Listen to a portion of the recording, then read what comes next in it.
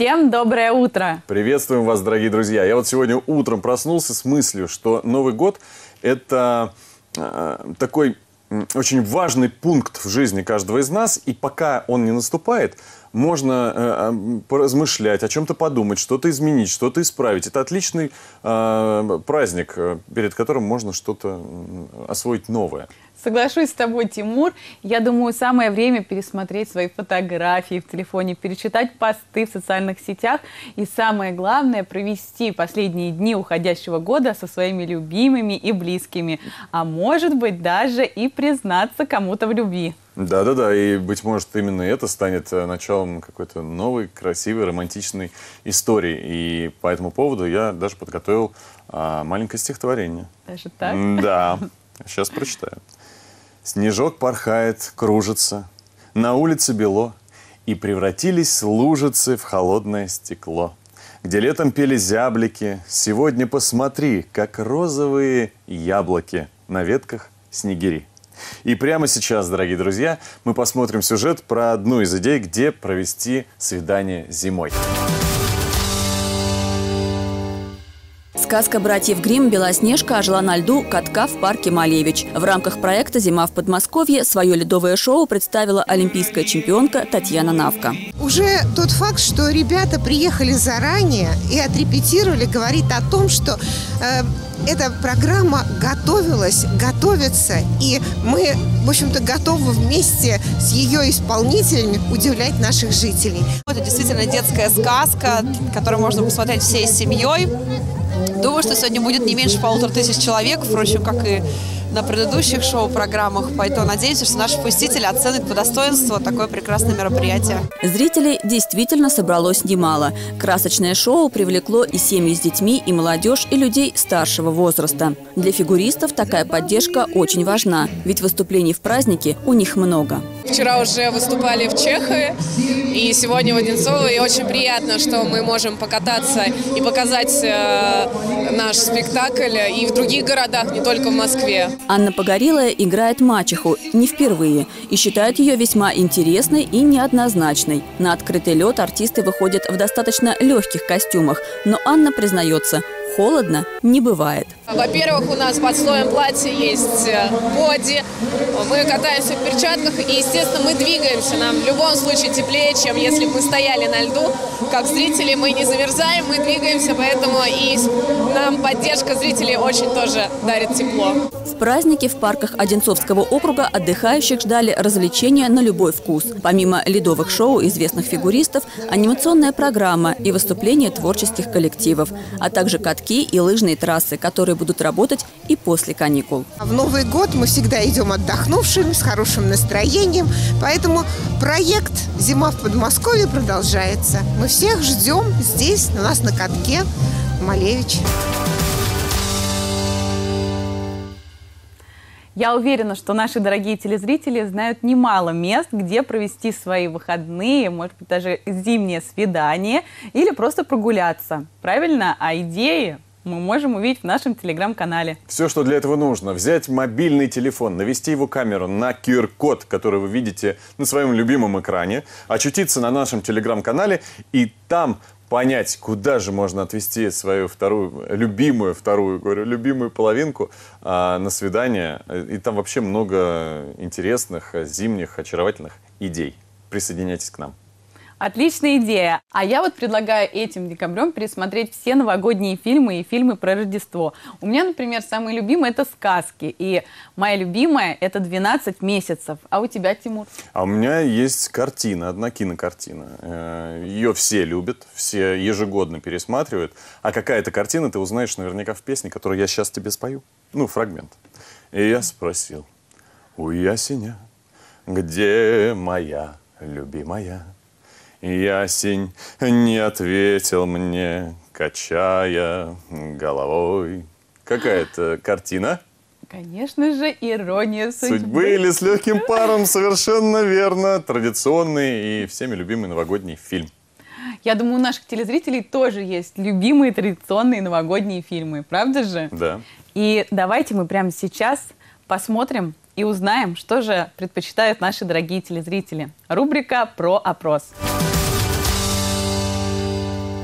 Всем привет, это рубрика про опрос. Давайте узнаем, какие новогодние фильмы любят жители Одинцова. Новогодний фильм, ну, елки 1-2. Сейчас вам скажу, с легким паром э, это самое «Ка- Кавказская пленница, потому что, ну как, мы выросли в тот период времени, понимаете? Поэтому нам очень это нравится. Карнавальная ночь. Да у меня много. Да, наши советские комедии. Один дома. Фильмы «Ирония судьбы», как для всех. Ну, тоже вместе смотрим. Вместе живем, вместе смотрим. Ирония судьбы или с легким паром. Так, а расскажите, почему? А потому что каждый Новый год мы обязательно его смотрим, это уже традиция. Новогодний? Вот, с легким паром. Один дома. А почему? Не знаю, он от него веет особая атмосфера. Как много интересных э, оригинальных ответов мы получили от наших э, зрителей. И, э, конечно же, я думаю, что нам стоит все упомянутые фильмы и сказки пересмотреть однозначно. А еще, дорогие друзья, очень важно, чтобы ваш дом был подготовлен к встрече э, Нового года. Если вы не успели, не успели э, украсить э, свое уютное гнездо, гнездышко, то самое время, потому что осталось совсем немного времени.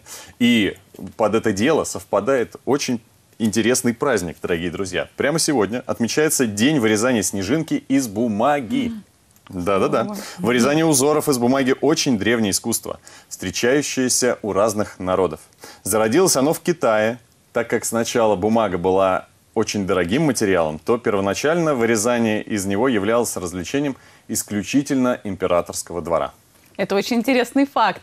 А я еще знаю, что сегодня отмечают День спасателя. Ты представляешь, то есть кинологи, водолазы, летчики и многие другие специалисты МЧС России всегда помогают людям в чрезвычайных ситуациях. И я предлагаю прямо сейчас посмотреть наш следующий сюжет про этих героических специалистов. Для одних необходимость, для других баловство, но в обоих случаях это опасность. Лед коварен в любую погоду, даже в морозную. При толщине меньше 10 сантиметров выходить на него не стоит, если речь идет о пресной воде. Для переезда через замерзший водоем на автомобиле ледяной покров должен быть в три раза больше, а прочности льда можно судить на глазок. Если лед э, голубого и синего такого цвета, то он считается прочным. Если цвет его белый, белый матовый или отдает желтизной, этот лед очень ненадежен. Он самый опасный, потому что он э, ломается без даже характерного предупредительного потрескивания. В темное время суток и при плохой видимости на замерзшем водоеме и вовсе делать нечего. Можно не разглядеть подвох, течение, ключи, подводная растительность. Все это ослабляет лед. Если вы видите из-под льда торчащие коряги, тоже нежелательно выходить на лед, там лед ослаблен. Либо если это полынья, какая-то растительность, там также лед ослаблен. А Желательно придерживаться протоптанных троп каких-то. Если есть лыжня, по ней безопаснее пройти. Если нет, то надо быть очень бдительным, внимательным, всегда оглядываться. Ни в коем случае нельзя проверять э, прочность льда ударом ногой. Если вдруг случилась беда, первое, что советуют делать спасатели – не терять головы. Спасение провалившихся может быть по силам самим провалившимся. В первую очередь нельзя паниковать ни в коем случае. Не начинать, как обычно люди, дрыгать руками. Вы только быстрее замерзнете, потому что водичка здесь прохладная. Даже в костюмчике. Надо широко расставить руки, чтобы вас течение не унесло под лед. Вот. И попытаться выбраться самостоятельно. Широко раскинув руки, потихонечку, потихонечку, грудью заползать на лед. Вставать нельзя, нужно перекатываться и только в ту сторону, с которой пришли, чтобы не провалиться снова. В арсенале спасателей для таких случаев есть специальное приспособление. Конец Александрова. Если мы видим, что человек тонет, мы ему озвучиваем, что помощь идет, смотрим, с какой стороны примерно заходил по следам, и начинаем какие-то предметы, к примеру, у нас конец Александрова. Если это гражданские люди, можно брать какие-то попутные предметы, будь то палки, лыжные палки, лыжи, доски, все, что широкое. И продвигаемся, желательно на животе, руки, ноги расставлены. Не доползая 3-4 метра до провалившегося, нужно бросить конец Александрова. Далее – дело техники. Человек спасен. Что для спасателя легко, для простого человека задача со звездочкой. Как работают советы профессионалов? Проверяю на себе. Сейчас я попробую себя в роли спасателя. Итак, вспоминаем советы. А, Любое подручное средство, которое поможет вытащить провалившегося. Например, пояс. И вот здесь у нас имеется палка. Попробуем с помощью пояса и палки вытащить провалившегося. Помним, что идти нельзя, мы ползем. Не так профессионально, как спасателям, но мне удалось помочь человеку выбраться из ледяной воды. Значит, это по силам каждому. Главное помнить правила поведения. Впрочем, их могут напомнить и сотрудники аварийно-спасательного формирования. В зимний период они проводят профилактические мероприятия, в ходе которых раздают памятки тем, кто, несмотря на опасность, все-таки выходит на лед. Сколько доблести и мужества в одном сюжете, какая концентрация. Ну, это выше всяких похвал. А, достойные сюжеты достойным людям. А я тут недавно, представляешь, сходил в кукольный театр. Это настолько погружает в детство, в какие-то волшебные эмоции, которые мы испытывали когда-то давным-давно, будучи школьниками или в садик приезжали. Ну, что-то невероятное испытал, конечно. Так здорово. Тогда я предлагаю прямо сейчас посмотреть наш сюжет про кукольный театр и поближе чуть-чуть узнать про эту интересную профессию. Кать, ну ты как всегда спешишь. Ты как всегда впереди паровоза. Я для тебя сюрприз подготовил. А, так это еще и сюрприз. Ну да, конечно. Новогодний сюрприз.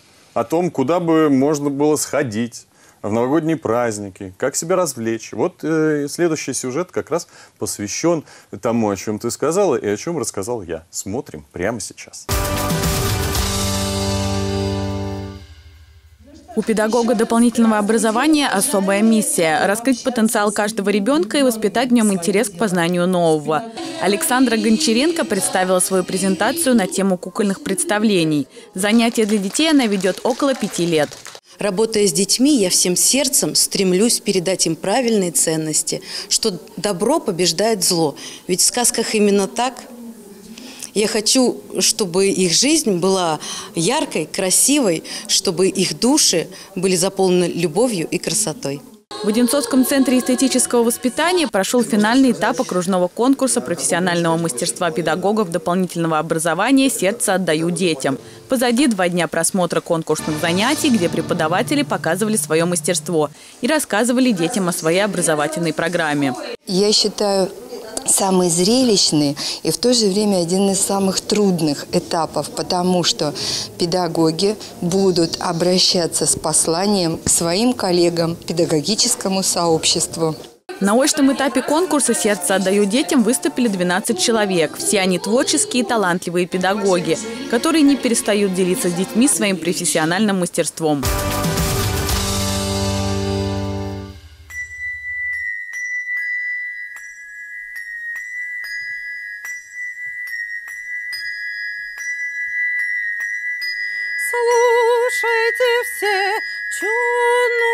Весть, ее принес ангел с небес.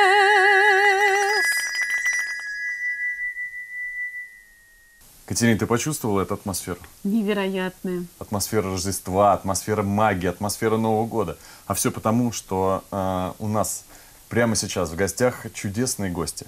Дамы и господа, встречайте. Режиссер театра «Кукол. Центр детского творчества. Пушкинская школа», а также Центр развития детей «Истина» Александра Гончаренко. Здравствуйте. Александра, здравствуйте. Здравствуйте. Но Александра у нас не одна сегодня. Представьте, пожалуйста, своих э, коллег, своих артистов. Ой, мои артисты – это моя же семья, мои три сына э, – Евгений, Кирилл и Лев. Привет, ребята. Привет. М, Друзья, ну это совершенно фантастически. Я не знаю, насколько передает телевидение, но находясь, будучи с вами рядышком, э, слушать вот это э, чудо очень завораживает, очень прям волнительно даже, я бы сказал, да? Да, Атмосфера просто. детства сразу, моментально. Мне понимаешь? мурашки были сразу. Про этот уникальный инструмент мы сегодня тоже расскажем. Не только про театр кукол, но и про хор ручных колоколов. И попробовать можем дать поиграть, и вы уже сами сообразите. Мастер-класс нам проведете обязательно. Александра, расскажите, пожалуйста, с чего же началось ваше замечательное увлечение? Увлечение кукольным театром началось, можно сказать, с детства. Я сама ходила в Центр развития детей «Истина», и наша директор Чекмарева Наталья Петровна, она как раз у меня вела кружок «Кукольный театр». И э, мы занимались куклами, мы ходили, сами мы из военного городка Кубинка, и мы ходили в часть, выступали перед солдатиками, и такое детское воспоминание, как они нас угощали там чаем из железных кружек. Вот. И потом уже по прошествии лет, когда я, мы с мужем жили в Сибири, когда мы вернулись, и, и я пришла в наш центр, э, спросила, можно ли мне тоже заняться куклами, и уже тогда вот начала заниматься с детьми театром кукол. А как вы свое подрастающее поколение туда привели? Или это выбора не было?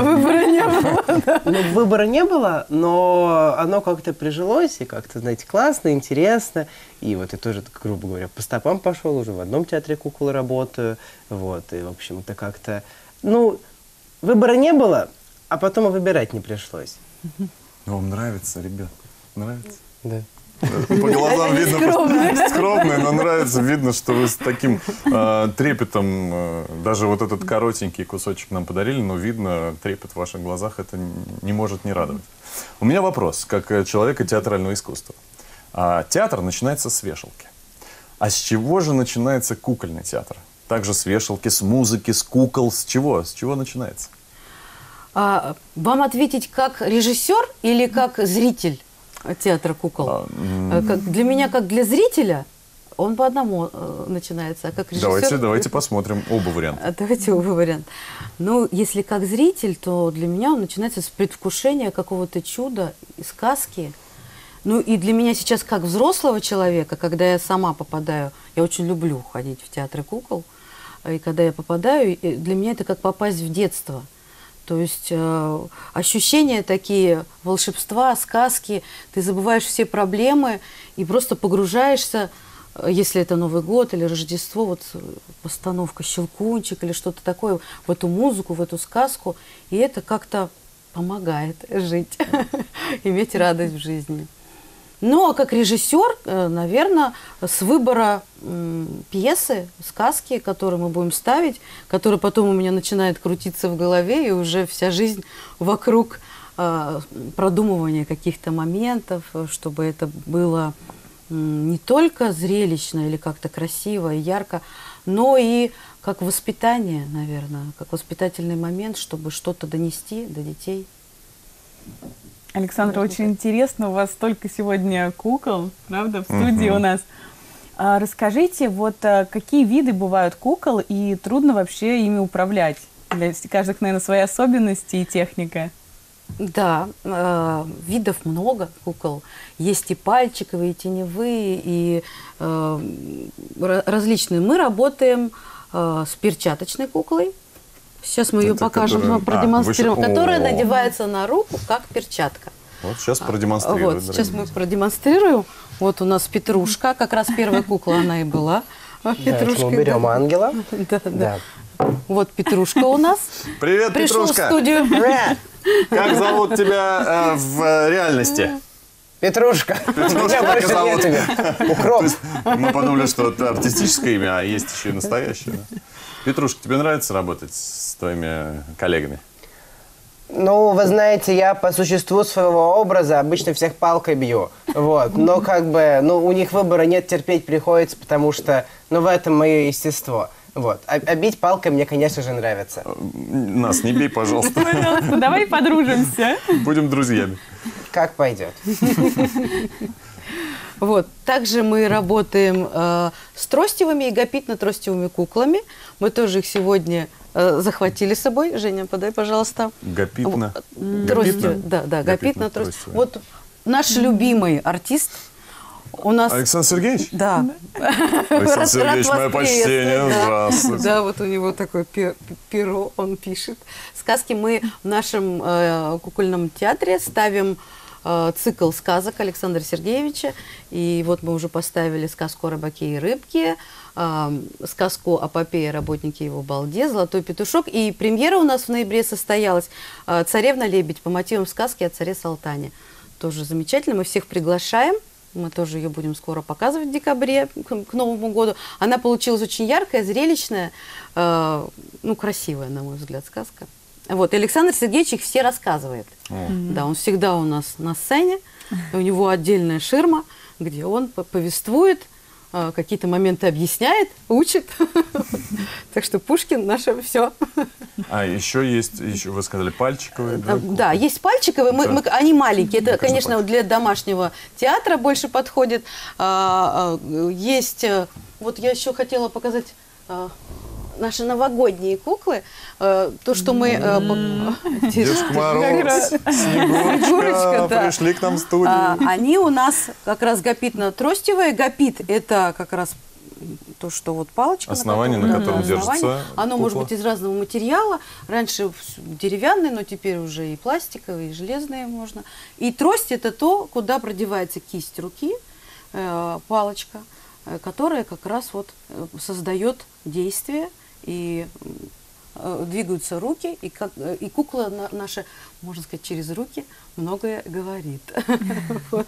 Вот- наши новогодние э, герои, которые тоже ждут встречи с ребятами. Ой, как здорово.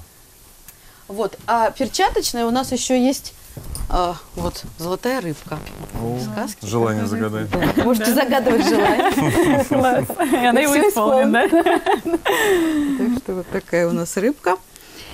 Э, И в прошлом году у нас такой новый опыт. Мы решили, мы уже поставили э, кукольный спектакль «Рождественский вертеп» с вертепными куклами. Но он у нас необычный.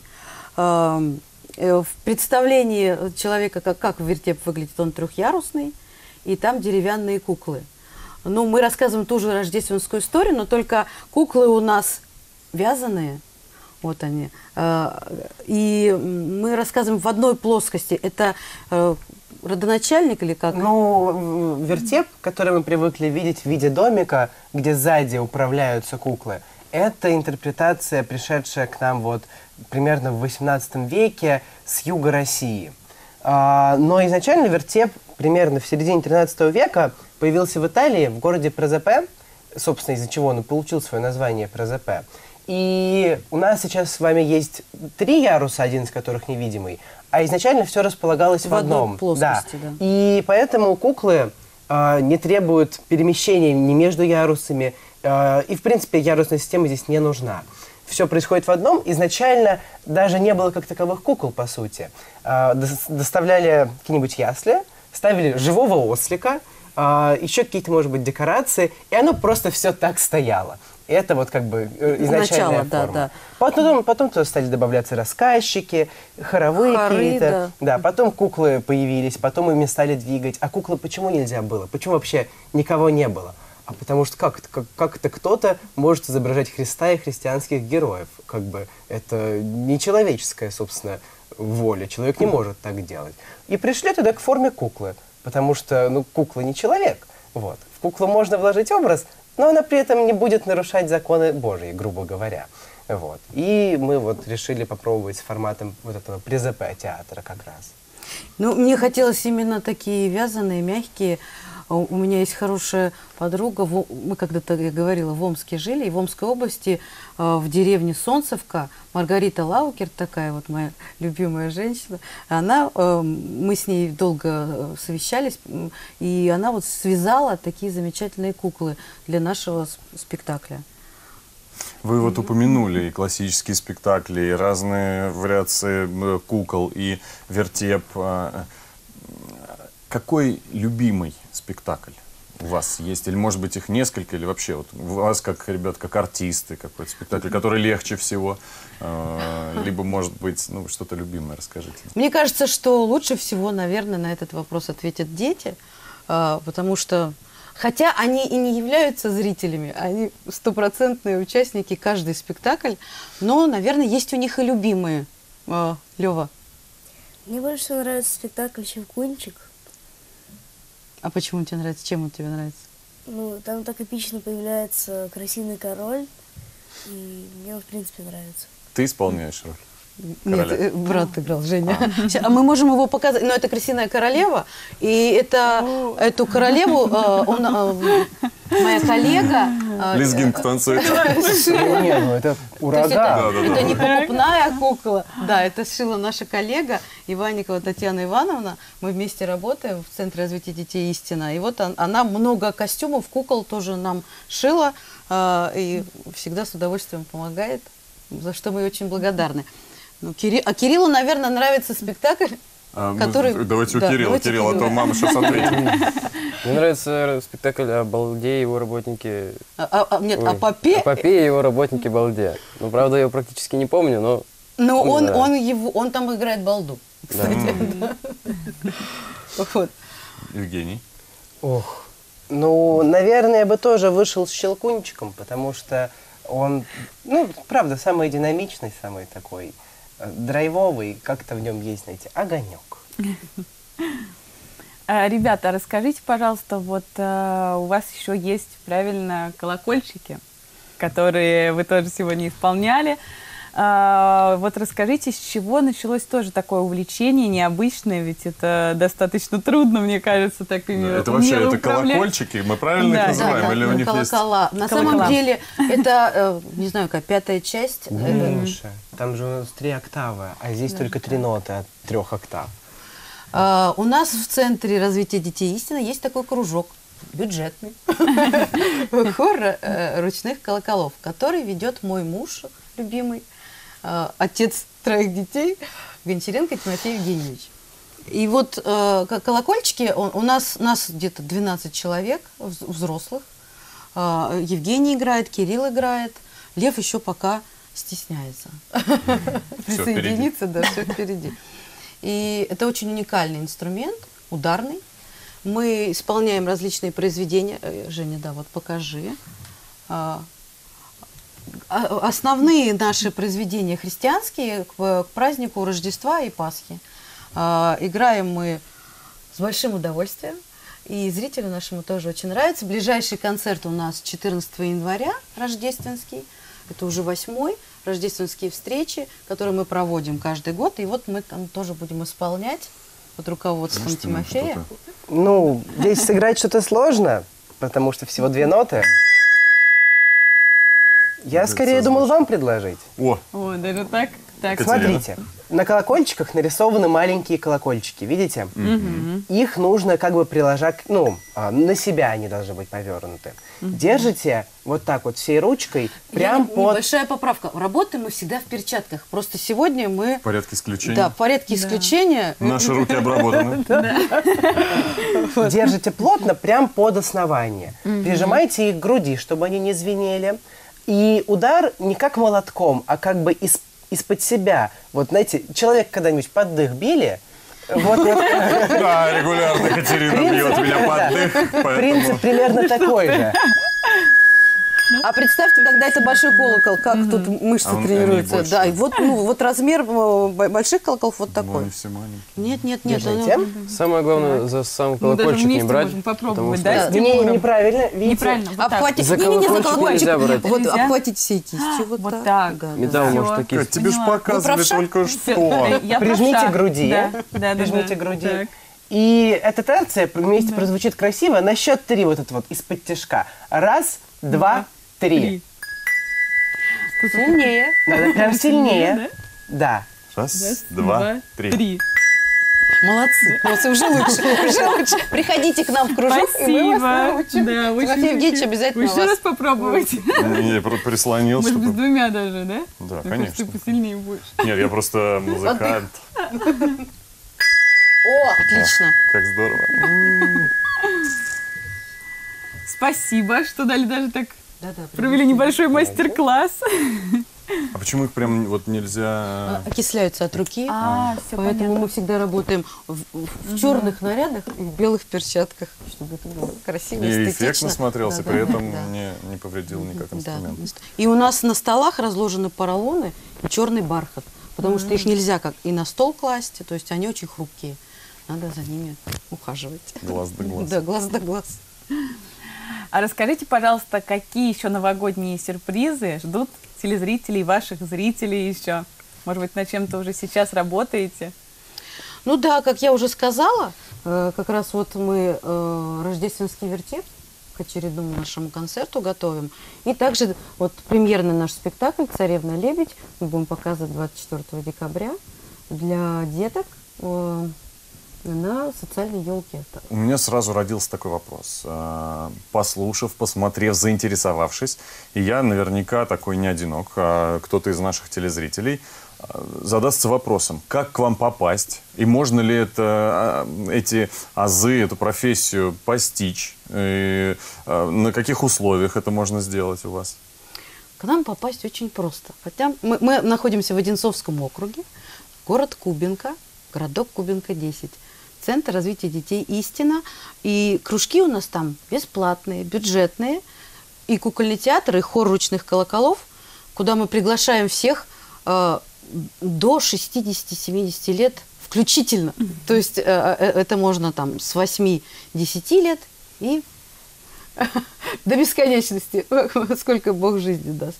А, И у нас взрос, взрослый коллектив есть, и кукольный у нас и взрослый, и детский. Детский вот он при Пушкинской школе, а взрослый как раз при Истине, где мы а, показываем в садах детских, где-то на праздниках, в Захарова, а, Пушкинский праздник, Масленица. Всегда с удовольствием участвуем с нашим коллективом и всех приглашаем к нам присоединяться. Мы обязательно придем с Тимуром. Да-да-да, было бы здорово. А вот бывали мы, когда к нам приходят артисты, мы спрашиваем, курьезные случаи какие-то у вас в театре там, или в кино, а в вашей профессии бывает такое, вот, что какие-то курьезы, перепутал куклу а, не в том месте, или рука у куклы отвалилась, не знаю, ну забавные. Это, наверное, как раз вот любимый Кирюшин спектакль «Апопея работники Балде», когда у нас в середине спектакля Голова у, у балды голова вы- То есть у него тело отвалилось, от- от- от- от- отошло от головы, и вот эта длинная шея как раз гопит, он у нас вышел. И Кирилл э, э, немножко сначала растерялся, а был полный зал детей, мы пригласили начальную школу нашу, которая у нас... И дет- детки сидят, кому-то подальше, может быть, не так видно, как- кто впереди. О- Очень радовались. Очень. Мы доиграли спектакль, Кирилл придерживал его тело. Мы решили не останавливаться, мы все доиграли, но такой был балдат длина шеи. Жираф. Жираф. На этот спектакль жираф. Здорово. Ребята, расскажите, пожалуйста, какие у вас планы на будущее? Может быть, вы хотите дальнейшую свою жизнь связать тоже с таким творчеством? Чем хотите заниматься? Ну, я еще не знаю. Еще в процессе, в раздумьях. Ну, ты с удовольствием занимаешься в театре кукол и в колоколах? В театре нет, в колоколах отчасти. Отчасти. Он честный человек. Он подневольный, может подневольный. э, э, больше радовать, чем честность? Наверное, ничего. Лев, а ты не придумал пока? В смысле, кем- А кем ты хочешь ну, стать? Хочешь ли ты дальше жизнь, быть артистом э, театра кукол, либо, может быть, Ну, в хоре? Нет, я там это... Мне больше связано с железными дорогами.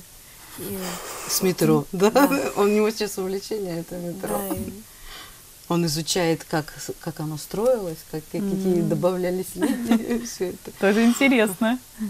Ну, а Евгений уже. Я, я уже что-то там сказать. Он еще. учится в Институте культуры. Ну и работаю в двух театрах, там все очень ситуативно. Ну, как бы, Основная работа, да, как раз кукольная. Уже, уже найти никуда не деться мне по жизни. Ты связал этого. свою судьбу и свое время с э, театром. Да. Ну, ты с удовольствием связал? Да, ну что же вы думаете? Мы сейчас с вами вряд ли он бы без удовольствия это делал. Мы сейчас с вами закончим, и мне нужно лететь в другой конец на прогон. Поэтому, конечно же, с удовольствием. Это уже какое-то специфическое выражение. Прогон. Прогон. Это значит Прогон репе- это репетиция, друзья, да, никого там Да, не да. прогоняют. Но э, э, подрастающему поколению я хочу сказать огромное вам спасибо, ребят, что вы, несмотря на то, что, может быть, не совсем прям разделяете и все, все, всеобъемлюще э, участвуете в театральных постановках в плане своего желания, но вы это делаете, и спасибо вам огромное. Зрители, я думаю, что получают истинное удовольствие и благодарят вас за это. Ведь когда в конце, вы, может быть, вы там хотите заниматься метро и так далее, но в конце, на поклонах-то, Вы получаете удовольствие. Вам же аплодисменты. Не куклам, а вам. Какие вы молодцы, как вы здорово перевоплотились с куклой. Это же м, дорогого стоит, я как Да, так и есть. человек на поклонах э, знающий. А теперь наша любимая рубрика «Блиц-опрос». Вы отвечаете быстро и можете даже не задумываться. Что вас вдохновляет, Александр? Меня вдохновляет какой-то новый творческий проект, когда вот выбираю какой-то спектакль, и, и все. Все вдохновение в этом. А у вас, ребят, Евгений? Ну что же, да жизнь вдохновляет. Знаете, идешь по улице, а там какая-нибудь собака пробегает, а вот тебе уже там целая сказка вокруг этой собаки. Поэтому все, что вокруг происходит, то и вдохновляет. Кирилл. Не знаю, оно само как. Так получается, что... Лев, от тебя? Ну, тоже как-то само получается. Меня в основном вдохно- вдохновляют мои собачки две. Ой, как мило. А, ваш любимый праздник? Рождество у меня любимый праздник. Тоже Новый год, Рождество, вот такое зимнее. Яркое, красочное. Ну, наверное, тоже Новый год, Рождество, мандарины. Ну, видимо, я от всех не отличаюсь.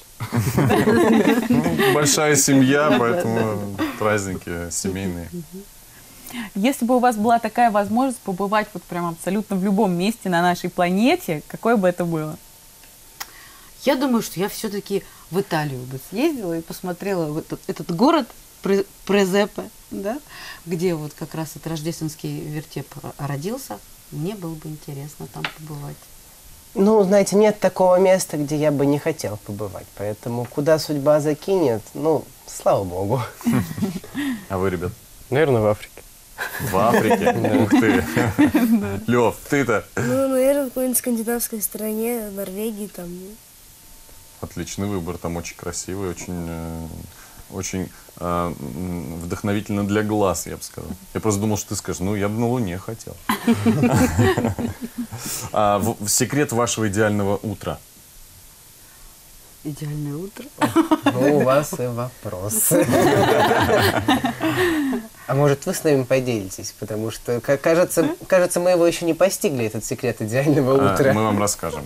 Самое главное проснуться вовремя с утра и включить э, телеканал ОТВ, где мы с э, Катериной будем вас радовать, научим э, э, разным премудростям, окунем вас в новостной мир, в мир творчества.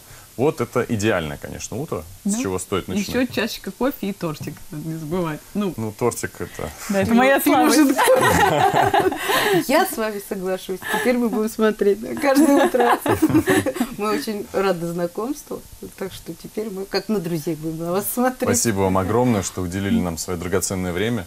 А, Мы желаем вам успехов, мы желаем вам множества спектаклей и, конечно же, нескончаемых оваций зрителей, чтобы вас носили на руках, вас узнавали на улицах.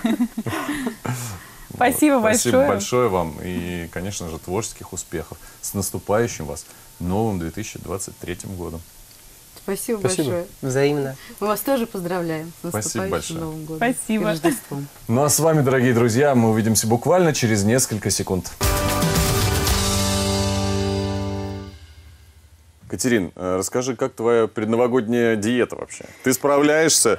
Ты все так же мучаешь себя, не ешь сладкое, не ешь жирное, мучное, да? Да. Да, отлично. Да. Но, э, надеюсь, ты уже нашла замену э, тем ингредиентам, которые регулярно пользовала в своих рецептах. Например, сделать домашний а, мармелад вместо тортиков и шоколада. Или вместо майонеза, который мы добавляем регулярно в салаты, использовать сметану.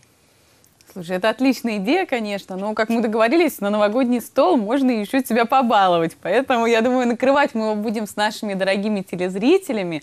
И все самое полезное как раз мы узнаем от нашего эксперта. Рубрика про здоровье. Многие думают, что если привился от COVID-19, то можно ни о чем не думать и забыть про все меры предосторожности. Но, к сожалению, есть такое понятие, как инкубационный период. Это когда нужно дать организму привыкнуть к новой жизни. Поэтому что же делать, узнаем прямо сейчас. После вакцинации нужно в течение трех дней избегать тяжелых физических нагрузок, не ходить в баню, сауну, не употреблять алкоголь. Может получиться так, что совпало введение вакцины с инкубационным периодом заболевания, и после этого развилась болезнь. То есть это не связано с вакциной. Сама вакцина не может вызвать коронавирусную инфекцию. То есть не нужно это связывать. Так просто совпало инкубационный период заболевания, совпал с вакцинацией и развилось заболевание. У меня были такие случаи. Люди связывали свою болезнь, коронавирусную инфекцию, пневмонию с тем, что они сделали спутник. Но это было в самом начале, когда спутник только появился, у людей было много опасений, говорили, что это не, не испытанная вакцина. Но опыт показал, что наши разработчики оказались правы, все сделали очень хорошо. Ну, так скажем, со временем клинический опыт это подтвердил. Не играйте со своим здоровьем, соблюдайте все меры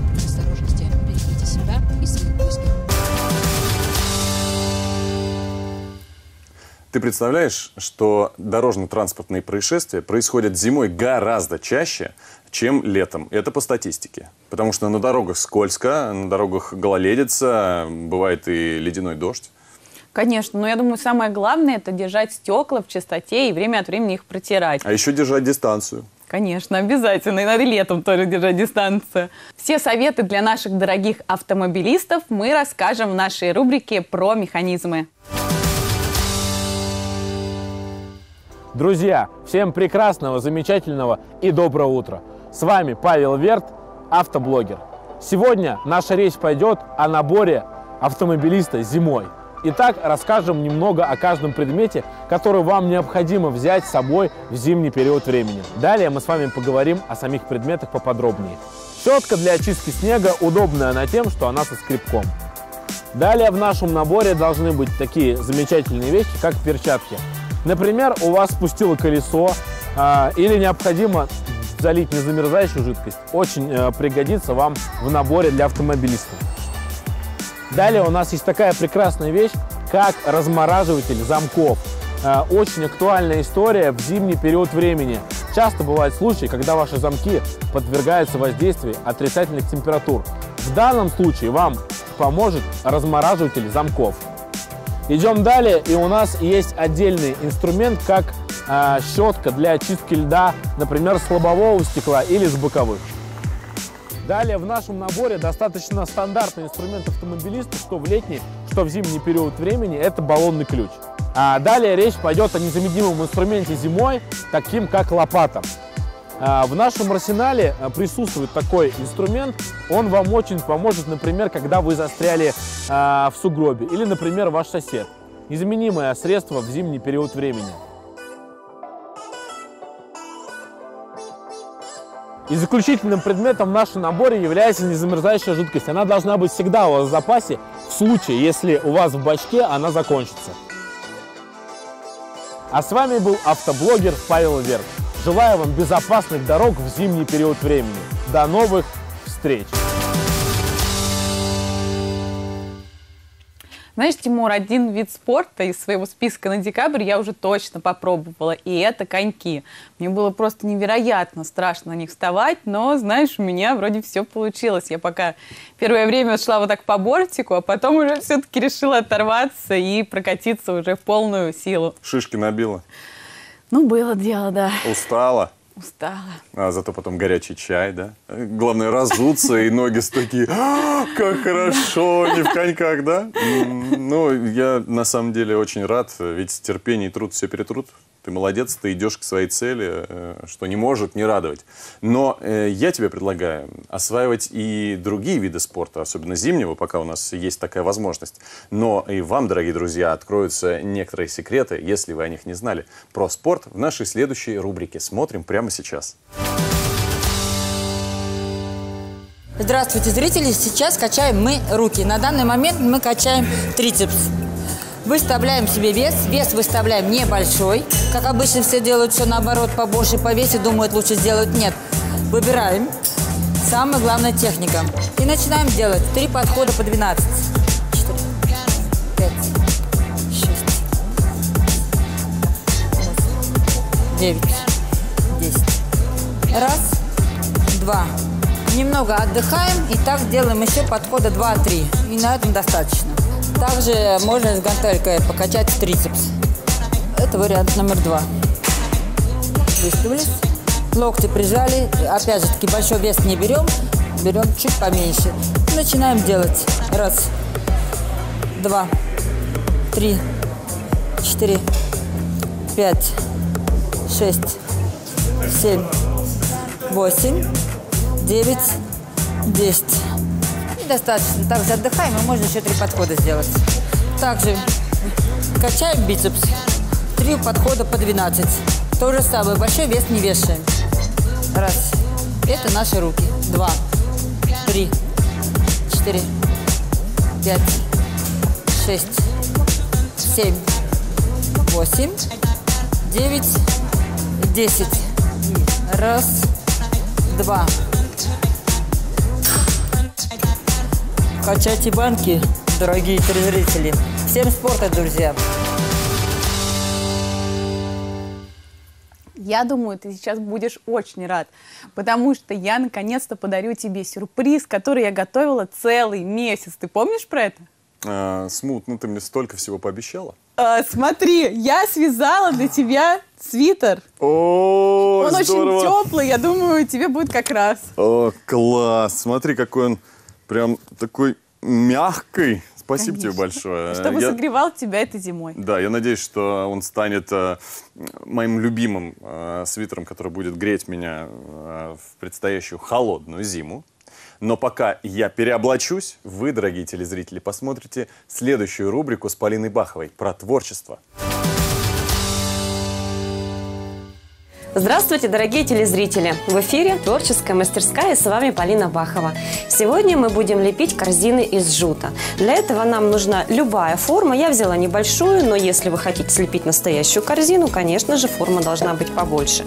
Мы а, сверху а, обтягиваем или накладываем клеенку.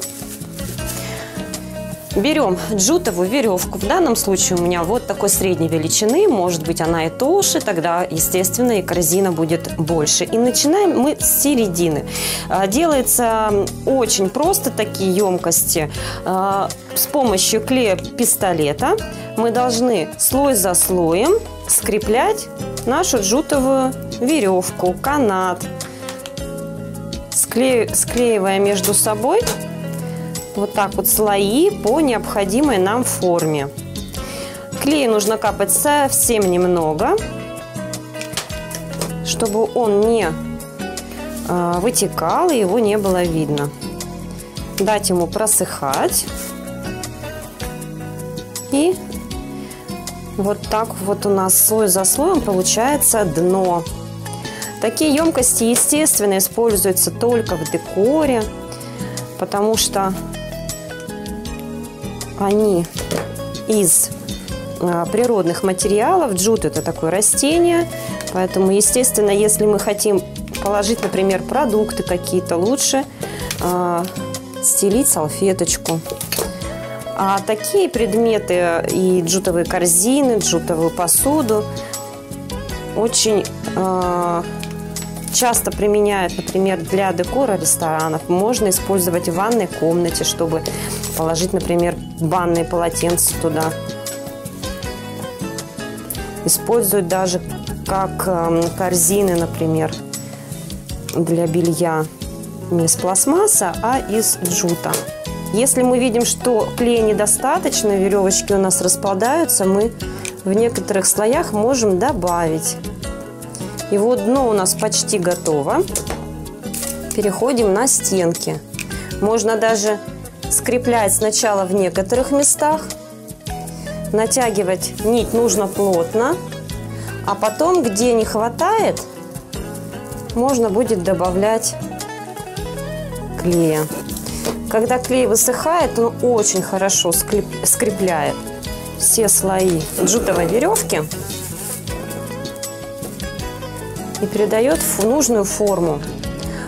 Также из э, джутовой веревки можно не только склеивать а, корзины и посуду, можно вязать с помощью крючка.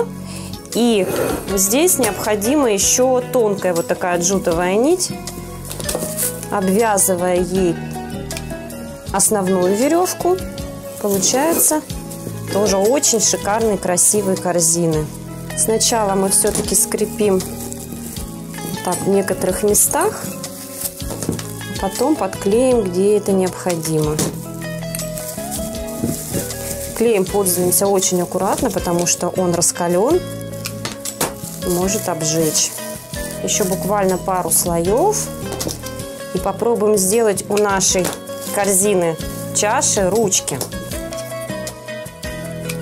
Так, в принципе, мы вот дошли до завершения. Уплотняем еще все слои.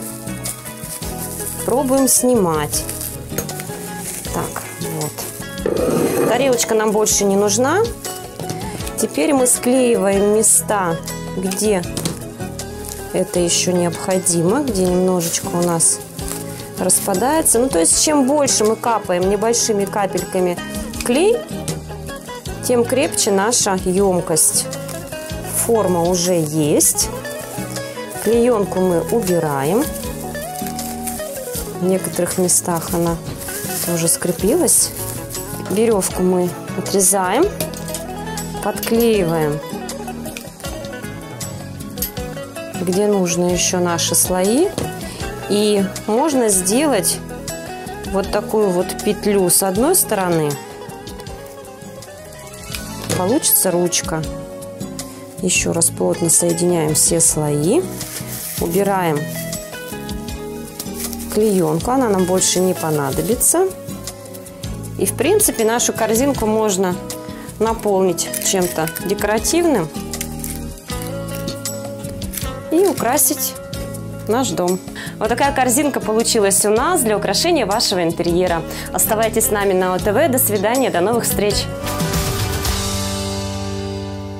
Новый год лучше начать с завершенными делами и решенными проблемами. Ведь остается всего 5 дней, и надо все-все-все успеть. И в преддверии Нового года наш любимый гороскоп, дорогие друзья. Слушайте нас внимательно. Овны. Играть роль спасителя легко и приятно. Такие моменты мы чувствуем, как наше эго получает мощную подпитку. Находясь же на принимающей стороне, мы чувствуем себя неуютно. Правда в том, что все отношения основаны на получении и передаче энергии Овны. Тельцы. Независимо от того, с чего начинаете путь, всегда мечтайте о чем-то большем. Каждый день тельцы – это уникальная возможность продвинуться вперед и рискнуть.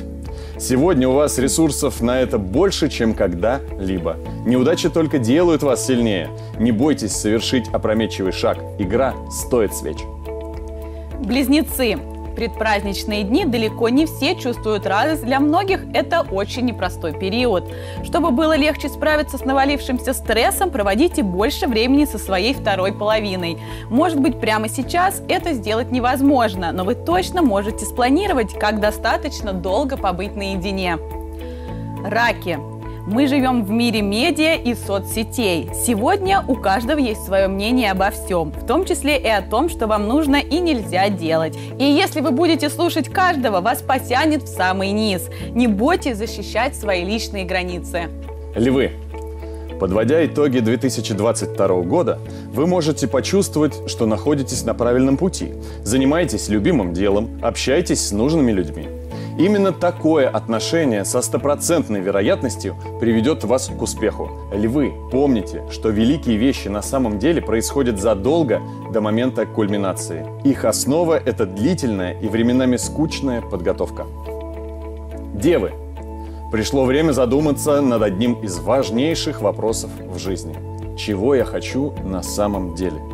Сейчас все складывается успешно, но звезды указывают, что вы находитесь на пороге чего-то совершенно нового. Возможно, придется делать непростой выбор. Весы. Для вас настало время случайных встреч. Это время обретения настолько сильной любви, что она может взорвать ваше сердце и разум.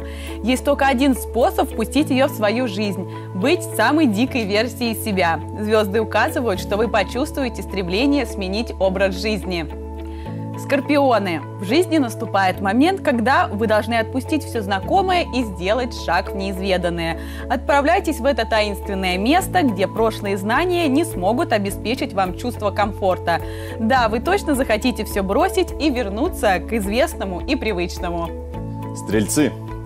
Раньше вы пытались построить отношения с людьми, которые любили ваш лишь наполовину и решили уйти при первых признаках беды. Вы действительно хотите повторить старые ошибки и держаться за старые отношения, прекрасно зная, что ничего не получится. Вы действительно этого хотите? Примите взвешенное решение. Козероги. Сегодня Вселенная дала вам благословение на то, чтобы посеять повсюду семена добра. Зарядите людей энергией и хорошим настроением, даже если вам самим этого не хватает. Вот увидите, вернется намного больше. В эти праздничные дни распространяйте радость, как конфетти, и проводите время с теми, кого любите больше всего. Водолеи. Что для вас значит дом? Вся планета, ваша страна, только квартира или любимое место на крыше? В любом случае, дом – это место, где вы чувствуете себя в безопасности и можете быть собой. Звезды хотят, чтобы сегодня вы позаботились об этом пространстве так же, как оно заботится о вас. Уделите время наведению порядка и его украшению. Рыбы. Сегодня один из тех дней, когда кажется, будто вас все оставили. И это полбеды, ведь это чувство может смениться на убеждение, будто окружающие вас люди создают больше проблем, чем решают. Возможно, с вас уже хватит, и нужно прекратить попытки все контролировать. Мне кажется, что, а, дорогие друзья, мы с вами согрелись. Мы надеемся, что это зимнее холодное утро мы провели с позитивом, с бодростью, а, проснулись и готовы к исполнению новых задач и свершений.